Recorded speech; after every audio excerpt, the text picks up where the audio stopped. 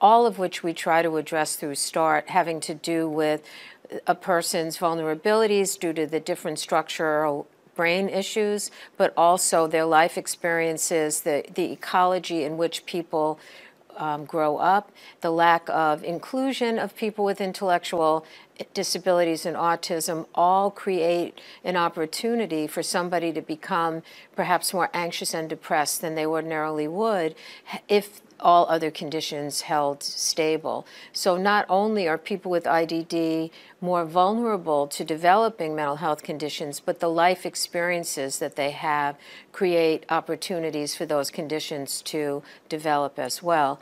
And many mental health conditions often contribute to challenging behavior.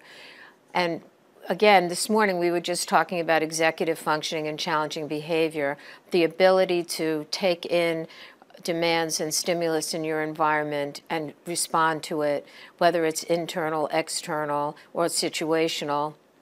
And sometimes we see that people with IDD express those challenges through um, behavior that is not considered acceptable, aggression and self and, and self-injurious behavior. And so when we get referrals, most of the people um, for START and mental health services are due to these challenges of aggression and self-injurious behavior. And, and some of them include how troublesome behaviors or people just not doing what is expected of them um, in extreme, what would be considered more extreme ways, is considered unacceptable in many support and service venues on the DD side. Um, and as a result, the last and least served in the community are people who have mental health conditions in IDD. These are the people where um, there's still a tendency to think that um, individuals need more restriction and more segregation in society than maybe other people with IDD. There's been some social movement toward including people with autism and ID into society, but those who have mental health issues and IDD have not really been included in this movement there's a continued concept of primary versus secondary, and that this is really a dual diagnosis. These are all kind of fallacies. Um, people really are. Well, I'll tell you something. My sister is now in treatment for cancer. She actually just finished her chemotherapy yesterday. And um, I have to tell you, she needed clinical support, and she also needed a person centered and continues to need a person centered understanding being nice to her and not giving her chemotherapy would not have helped her with her cancer. Giving her chemotherapy but not providing support to her about how she faces the challenges of her cancer would not have helped her very well with her cancer either. So it isn't about one or the other, it's both. So start, uh, the idea is that partnerships enrich the systems. We really believe that capacity building uh, begins with positive engagement, and the positive engagement has to start with the person being referred. A lot of people are referred with terrible reputations, and the first thing we do is we debunk those and look at the person's strength of character, their courage in working with us, and their ability to change in positive ways to promote their own well being and for us to engage with them in that process. We also, capacity has to be part of systems change any any system or service does better when they collaborate with others. So we're very it's a big part of our mission and has been since 1988. Service recipients and their families are our most valued partners. A self-advocate uh, recently reminded me that a self-advocate or a service recipient does not have the same perspective as a family member.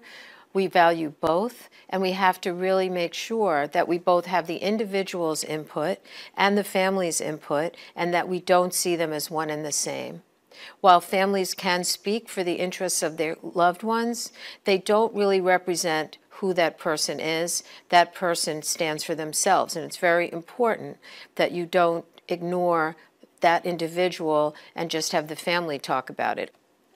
We also talk about what effective services are again, back in the day of developing START, the, one of the things that we didn't have access to in Northeast Massachusetts was hospitals for people with ID who had mental health conditions. So we would try our best by advocating as much as we could to get people hospitalized when they had an acute mental health condition. So they got access. But uh oh, it, the, the services weren't that good because they didn't know how to serve people with ID. So it really wasn't all that appropriate. And what we learned was access alone doesn't guarantee that services are going to be effective. So they have to be appropriate. And thirdly, they have to be accountable.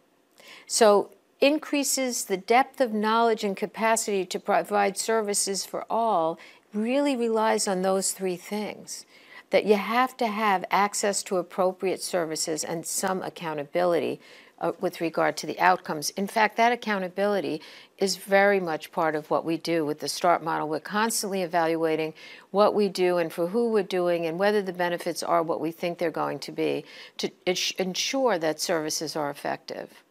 So one of the uh, essential ingredients of doing any of this work is to articulate why you do what you do. And the public health model from the World Health Organization is an excellent portrayal of what a good public health system looks like, which includes primary, secondary, and tertiary services. Now, a, from a public health perspective, a lot of the primary interventions are what we would call preventative. At, but in our case, because people come to start already having difficulty, we really see the primary, secondary, and tertiary interventions as crisis intervention strategies because the people come in in crisis. And those primary interventions really create capacity so that they do not end up needing more specialized services or crisis services, but all three are provided through the START model. What you can see from looking at this um, example is that the potential impact of the model, of the intervention, increases with regard to um, the ability to support someone when you're at the primary level. So, with the primary level, more people know what to do, there's a mutual understanding about how to address an issue, and there are many, many people who can benefit from it. When you're at the secondary level, fewer people know, and you need specialists to figure out what to do.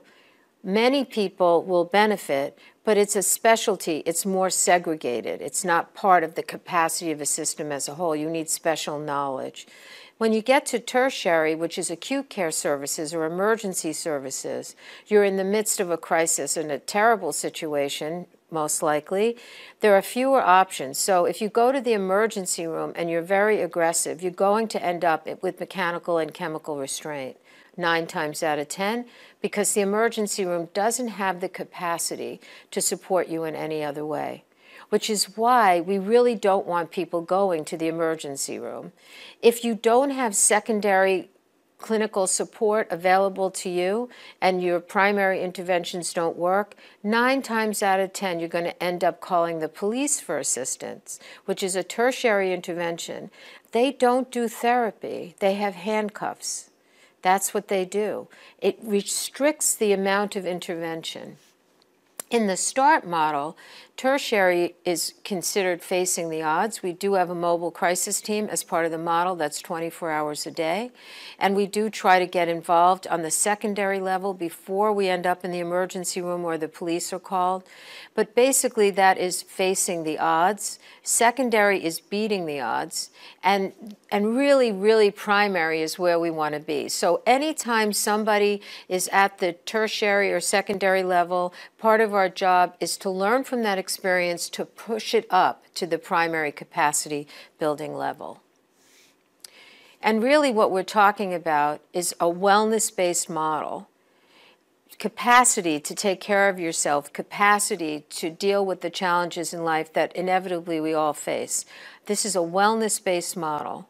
And all of these factors that are listed here contribute to your wellness and, well, and your sense of health and well being. And so, again, this is based on the World Health Organization that show that there are many, many circumstances and conditions that either undermine wellness when they're absent or promote well being when they're present.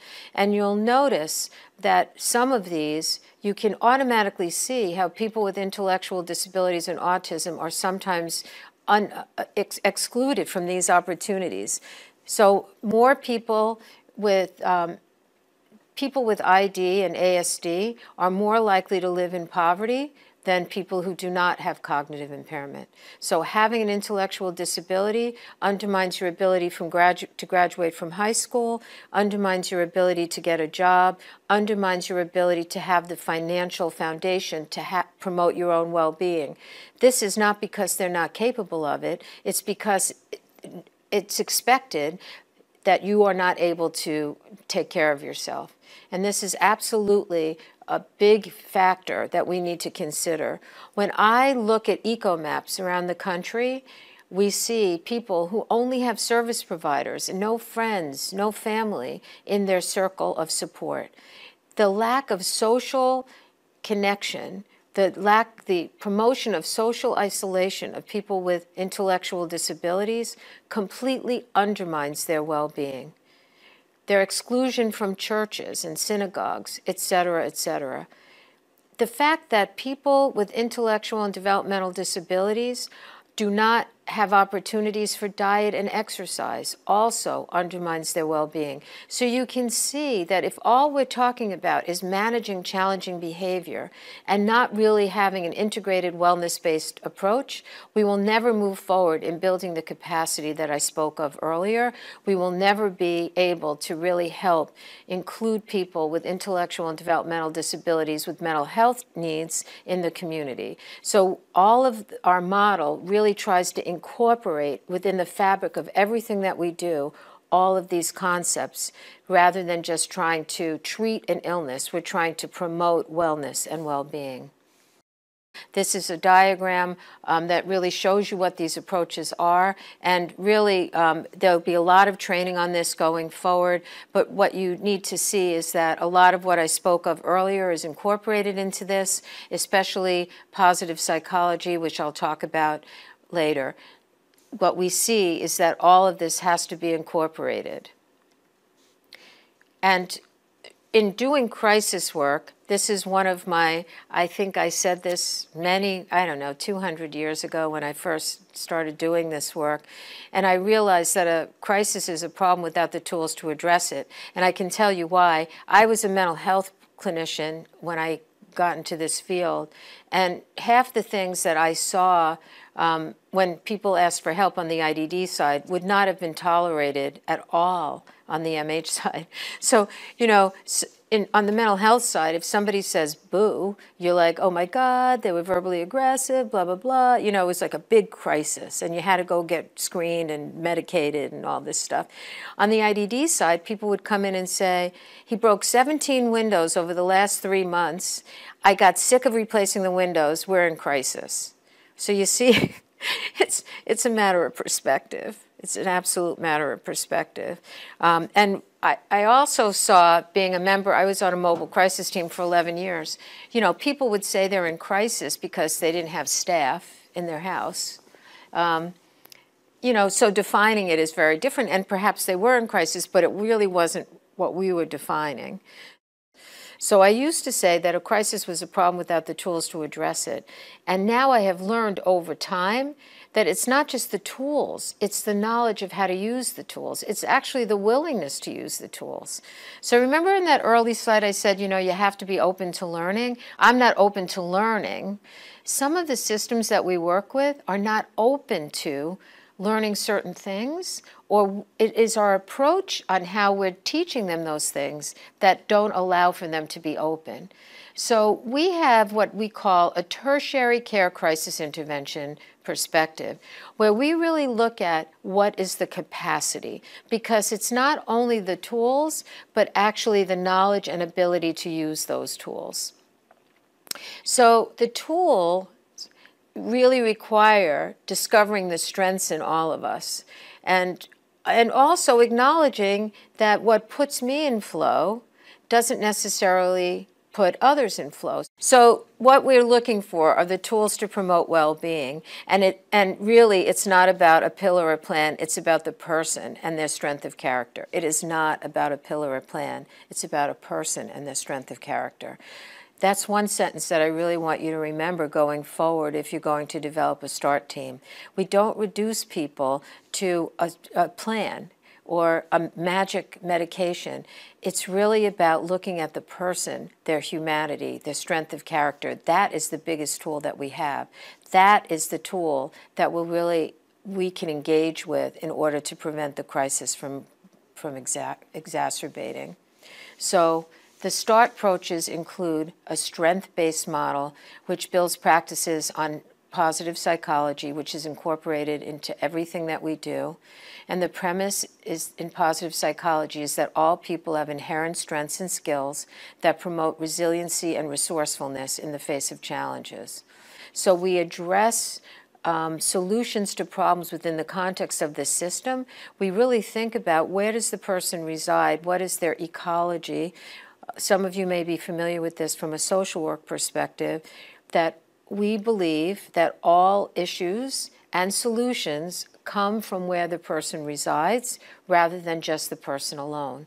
So there is no problem, illness, or issue that can be addressed by just looking at the person and trying to fix the person. It's really about engaging with the system and having an understanding of what the system's needs are.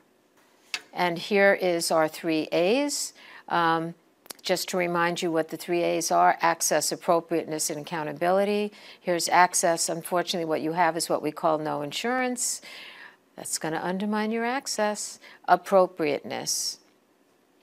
Timmy is asking Lassie for help. Lassie goes and gets psychotherapy. The help doesn't match what Timmy needs. I know you're chuckling out there. And here's my favorite one. Um, you go to a team meeting, picture this as a team meeting. Somebody's testifying in court, and the one jurist is looking at the other and saying, I don't listen to the evidence, I like to make up my own mind. How many of us go into meetings and we don't really listen to the family, or we don't really listen to the service recipient, or we don't really listen to the occupational therapist or the teacher because we know the, all the answers, and once we, and we're just waiting for our turn to speak.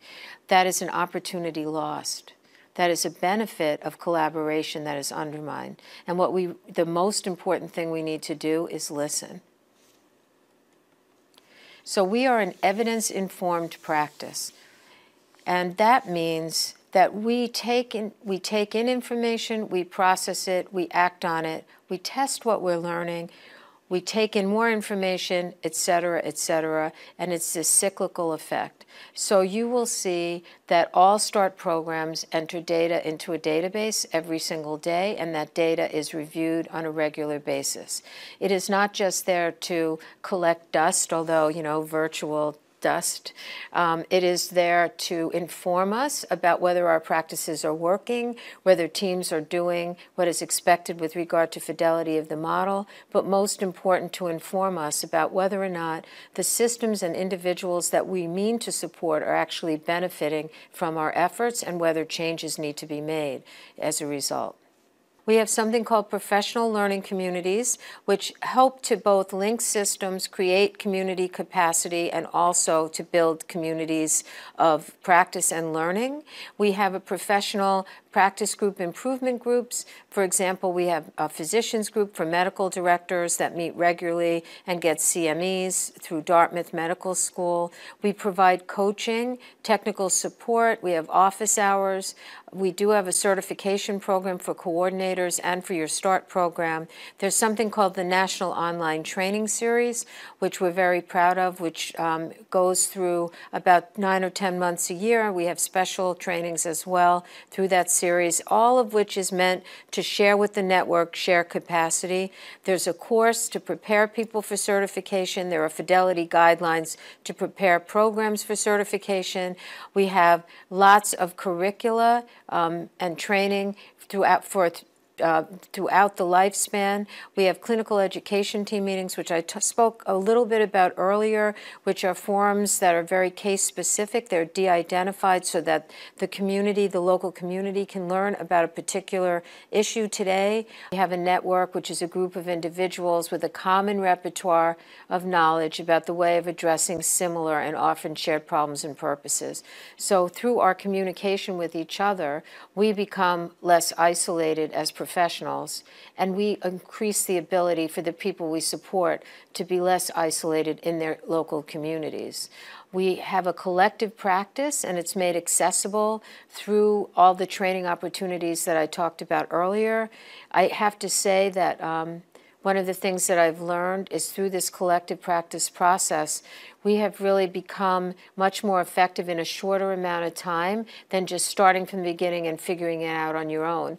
None of what we do is all that fancy, but what we do is really based on learning about what is best practice. We have multimodal consult teams that we are associated with to integrate a better understanding of people with more complex needs. And again, we have clinical education team meetings. We have something called the START plan, which evaluates the needs of the individual and their system, crisis plans, service evaluations. We have a database. We provide systemic analysis, practice groups, et cetera.